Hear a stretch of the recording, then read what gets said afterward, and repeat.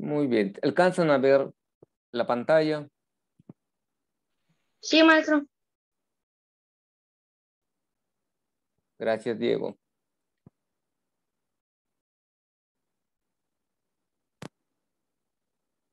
Eh, una de las actividades que van a realizar para su proyecto del día 25, eh, este, en, en el grupo de papás ya subieron las fechas de los exámenes o proyectos según cómo les vayan a evaluar los maestros. En el caso de español se quedó el día 25, no hubo cambios. Y en el caso de historia universal pasó para el 31 de mayo, si no me equivoco. Sale, así que el próximo martes 24 no me van a entregar su examen de, de historia universal o su proyecto, sino sería hasta el siguiente, hasta el siguiente martes 31. Y este elemento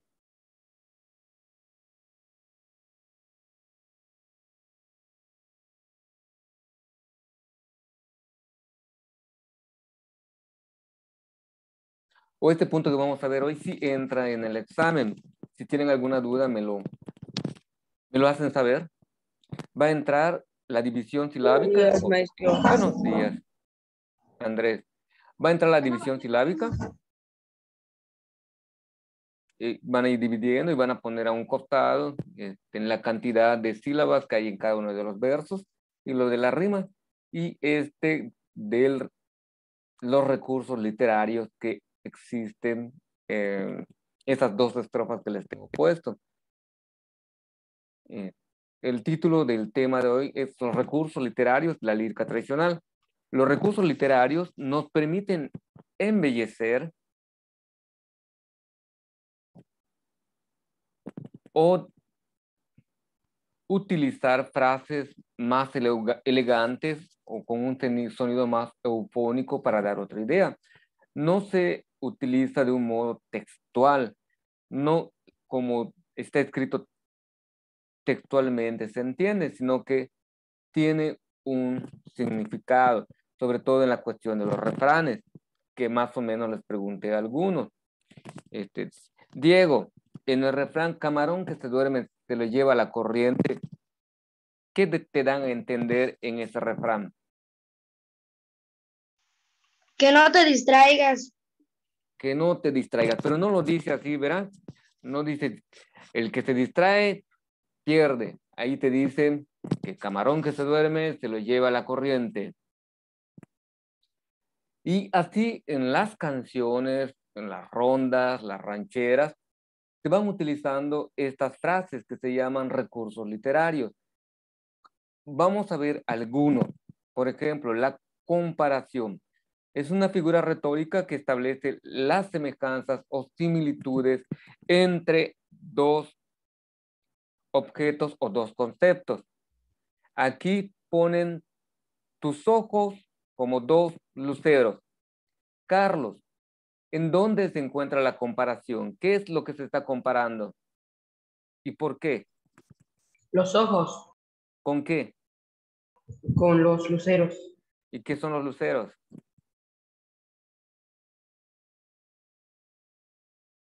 Está apagado su micrófono, Carlitos. Eh, no sé qué son luceros, maestro. No sabe qué son luceros. ¿Alguno de ustedes sabe qué son los luceros? Cuando salimos en la noche lo vemos. ¿Son los postes de luz? No. Se refiere, eh, es el, el lucero es sinónimo de estrella o estrellas. ¿Y por qué están comparando unos ojos con unos luceros, con unas estrellas.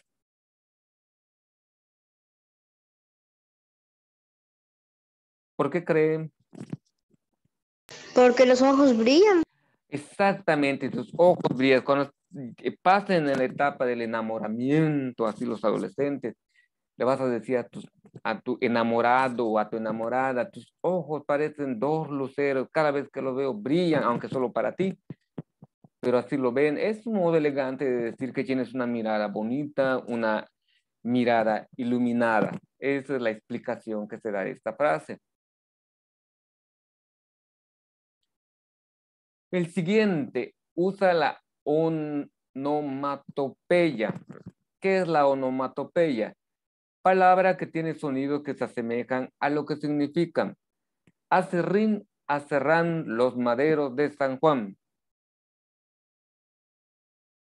Me imagino que han escuchado esta ronda. Acerrín, acerrán los maderos de San Juan. Piden queso, les dan hueso. Piden pan y no les dan. Y se sientan a llorar en las puertas de San Juan. ¿Qué sería acerrín, acerrán? Mm, Andrés.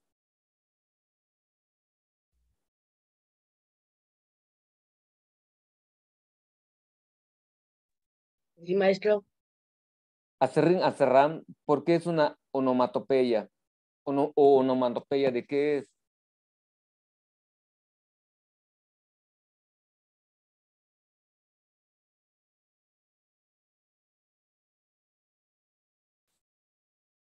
Otro ejemplo de oma- onomatopeya.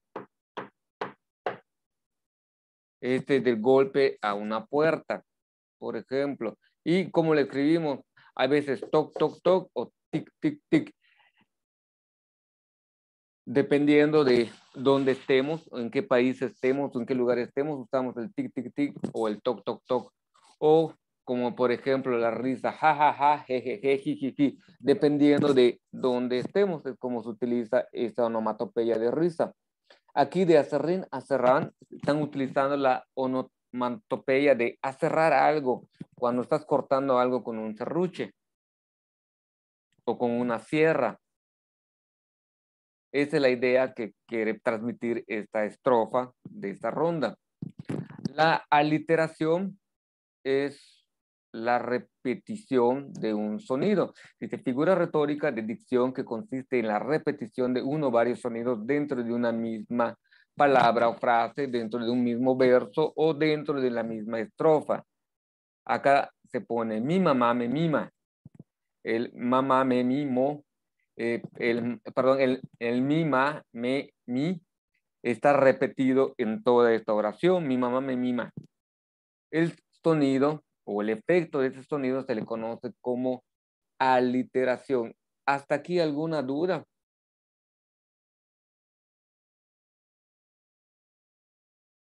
Jovencitos y jovencitas, ¿alguna duda? No. Pasamos al siguiente listado.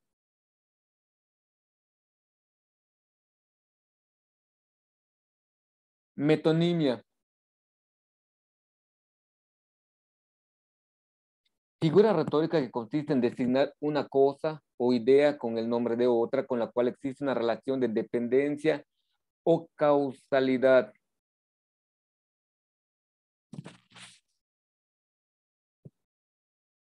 Es como un efecto de causa-efecto. Esto es el ejemplo de un corrido. No me sé el tono, pero más o menos es puso en letras y en papeles lo que en pólvora escribió. Más, o menos así suena en, la, en el corrido. Pero ¿cuál es el significado? significado? Isaí, ¿qué idea o qué explicación puede dar de esta, de esta figura de metonimia? Puso en letra y en papeles lo que en pólvora escribió.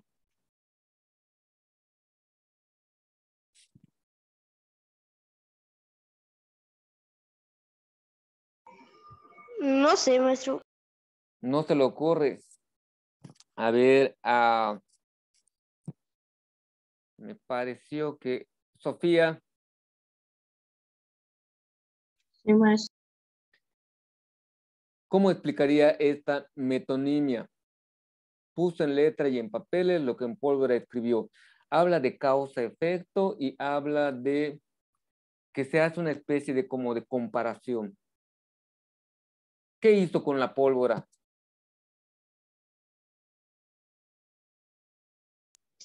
Eh, lo quitó. Si es un corrido, ¿para qué servía la pólvora a los revolucionarios?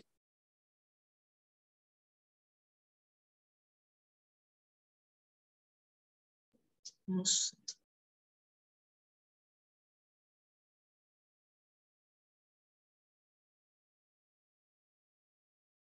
Está apagado su micrófono, Sofi. No, sabe. Marcos. ¿Qué es lo que hacen los revolucionarios con la pólvora? Juegos pirotécnicos. No sé, maestro. No sabes qué hacen los revolucionarios con las pólvoras. Si quieren derribar un puente de un tren, ¿qué van a utilizar?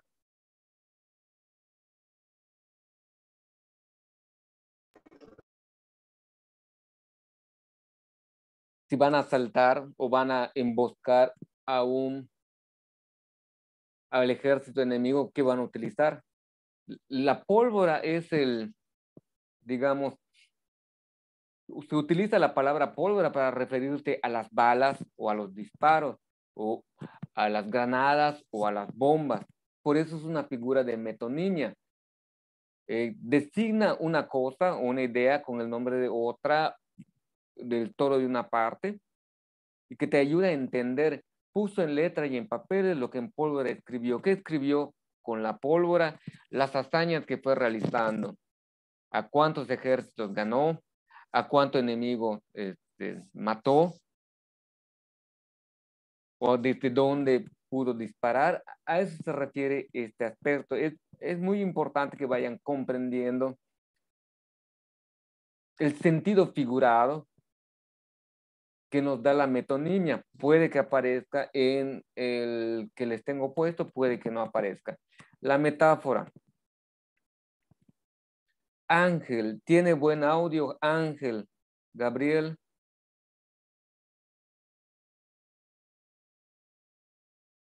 Ángel Gabriel.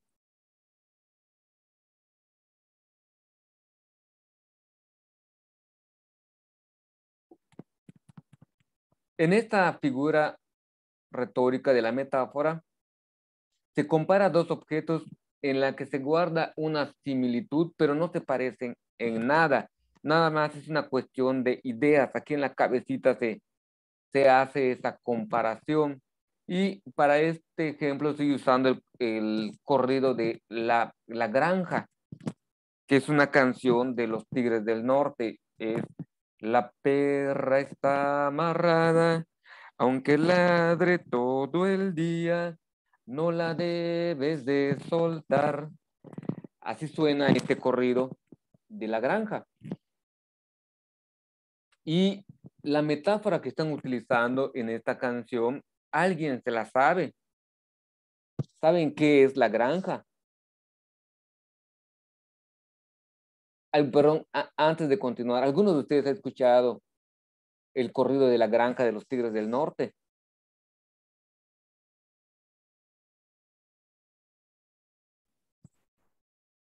¿Usted, David?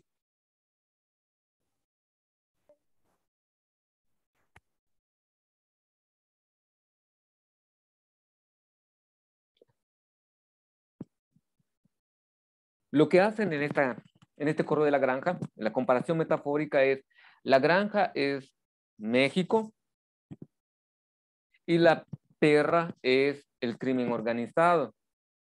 Y la canción se la dedican a un presidente, Calderón en particular, porque le hicieron ver que no debía de declarar la guerra al crimen organizado como lo hizo.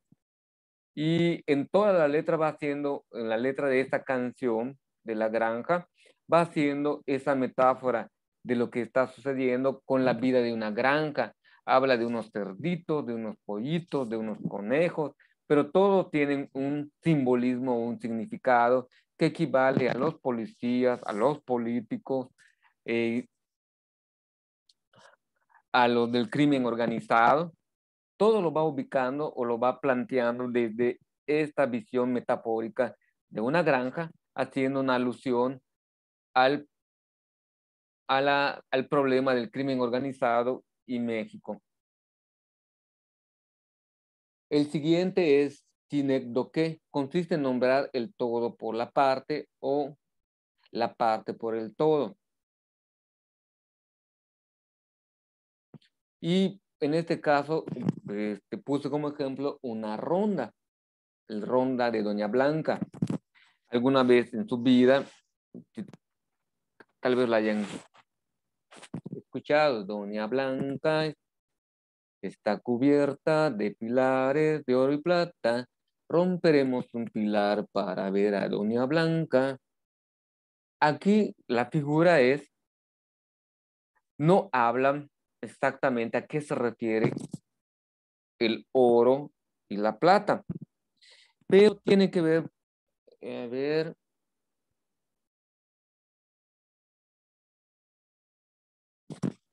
¿Han escuchado sobre la jaula de oro? Mm. ¿A quién no le he preguntado? Naomi, ¿sabe qué es una jaula de oro? No, maestra. Nunca he escuchado esa frase. Vives en una jaula de oro. Es decir, vives presa y encerrada, pero todo lo que tienes alrededor es lujoso. El de Doña Blanca habla de la misma realidad. Doña Blanca es una persona que vive en una casa que tiene pilares de oro y plata, es decir, vive con mucho lujo, pero no le permiten ver más allá de su casa. Por eso el juego, no sé si alguna vez lo han visto, es se agarran de las manos este, los niños y van girando y en el centro se pone una persona que va a ser Doña Blanca. El, los niños van a representar la casa lujosa o pilares de oro y plata que rodean a Doña Blanca y alguien va a tratar de rescatar a Doña Blanca.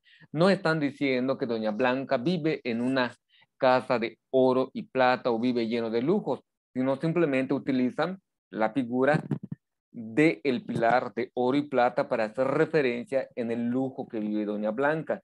Y a esta figura retórica se le conoce como sinedoque, ¿Alguna pregunta o duda con respecto a esto? No, maestro. Seguro, porque en, les vuelvo a repetir, en la actividad que van a hacer de México lindo y querido, muero lejos de ti, que digan que estoy dormido y que me traigan aquí. Son dos estrofas que les tengo puestos, tienen que ver qué recurso literario están utilizando, ¿sí? comparación, onomatopeya, aliteración, metonimia, metáfora o de qué. Existen otras, pero esas me parecieron las más comunes que aparecen. Último punto de este tema, ya con esto concluimos. Y si tienen dudas, vamos este, haciendo un repaso sobre todo con el ejercicio que van a realizar al final. La riqueza lingüística en la lírica tradicional mexicana. México es un país pluricultural. Algunos le llaman multicultural. Existe una diferencia en cuestiones de los alcances políticos que tiene el ser pluricultural y multicultural. En los mismos entidad o en las mismas entidades federativas, llámese Quintana Roo, Campeche, Yucatán, Chiapas, Tabasco, Oaxaca, Veracruz, Morelos, Guerrero, Michoacán, Oaxaca, Chihuahua, Guanajuato, Querétaro, Durango, Sinaloa, Sonora, Baja California, Norte, perdón, Baja California Baja California Sur, Tamaulipas, Nuevo León, Coahuila, todo, cada, uno de esos, esas entidades federativas, en ellos puede existir una diversidad cultural por los diferentes grupos indígenas que habitaron las regiones. Y cada uno de ellos tiene una riqueza porque nombran las cosas de acuerdo a su cosmovisión. Puede que haya algunas coincidencias y puede que haya algunas divergencias. La riqueza que nos brinda la diversidad lingüística es que nos permite conocer de otro modo o de otra perspectiva el mundo que vemos. Yo solamente conozco lengua indígena maya y muy poco de náhuatl, pero sí es muy hermoso el cómo la lengua te permite enunciar y decir de otra forma algunos conceptos. Por ejemplo, si yo quiero decir eh, un ramo de flores en maya, digo hunchach lol.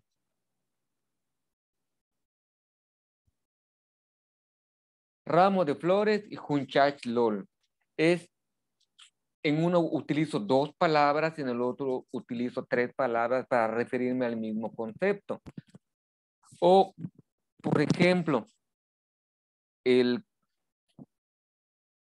sustantivo o pronombre esperanza. Es largo en nuestro español, pero en latín se dice espe y nada más. Tres palabritas, no tres palabritas, tres letritas nos dan el concepto o para los que hablaban latín le hacen pensar en esperanza y en inglés es hope, H-O-P-E, hope esperanza, que es muy diferente a como nosotros lo pronunciamos. Pero cuando se enuncia espe en latín, hope en inglés, esperanza en español, se está refiriendo a lo mismo, nada más que se pronuncia de un modo diferente. Y algunas veces eh, lo que nosotros entendemos por ese concepto no es lo mismo que entienden las personas desde su idioma. ¿Quién de ustedes domina un poco el inglés? ¿O tiene bastante vocabulario en inglés? Carlos, Johan. ¿O no les gusta el inglés? Nadie.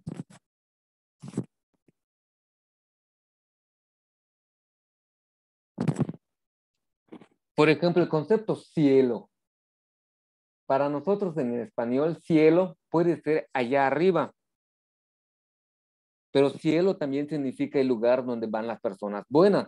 Desde la concepción judeocristiana que tenemos, el cielo es muy similar a la cuestión del paraíso.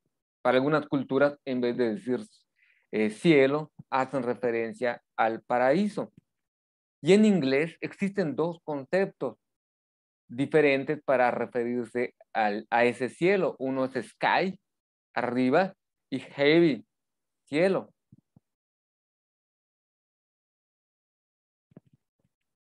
Y nos está hablando de esta riqueza de la diversidad lingüística, hablando de idiomas que conocemos eh, de modo general por ser este, idiomas universales. Pero en el caso particular de las lenguas indígenas, se van adentrando dentro de las regiones y las utilizamos de un modo cotidiano y no nos damos cuenta. Eh, alguna vez tal vez hayan escuchado este, esta canción de Purushon Kawich. Purushon Kawich, nacido en Tamek, un porehuení con cara de pec. Los que estudiaron en Quimpal desde la primaria, en alguna ocasión se las pusieron como un ejercicio para que vayan analizando y vayan identificando cuáles son las palabras de origen maya y cuáles son las palabras de origen español. Y les, los iban encerrando. Me acuerdo haber revisado esa tarea de una de mis hijas que se las pusieron y estaba dentro de su libro de texto. Eso es solo para, mencionarles algo del Purushon Kawich. Y ayer uh, estaba ya escuchando, antes había una jarana del Tutuwa, donde dicen ejecutale Waxo, que dice ahí viene el toro. Y en algunos contextos es muy común utilizarlo. Esto es para nuestro caso únicamente peninsular pero en la zona de Puebla, en la zona de Oaxaca, también existen regionalismos que van enriqueciendo este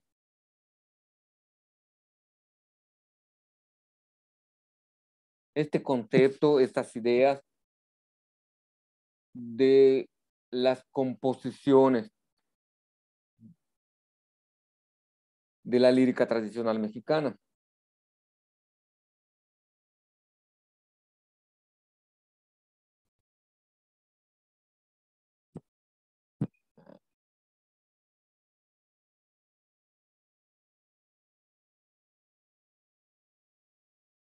Este último punto y ya pasamos a una revisión. Un lenguaje, utilizo un lenguaje no académico, eh, utilizo un lenguaje coloquial, cotidiano y muy dado a las cuestiones de carácter regional. No me acuerdo si aquí tengo.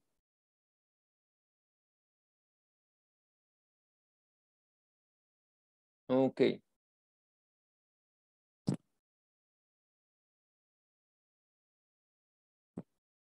El gato viudo. Hay una parte de entre el gato viudo donde mencionan algo muy simpático. Hacen el canto del gato viudo como si fuera que realmente le están cantando a un gato, realmente no. Le están cantando a un este a una persona eh, no sé si conocieron el personaje de Don Ramón en El Chavo del Ocho. A él, de él están haciendo referencia.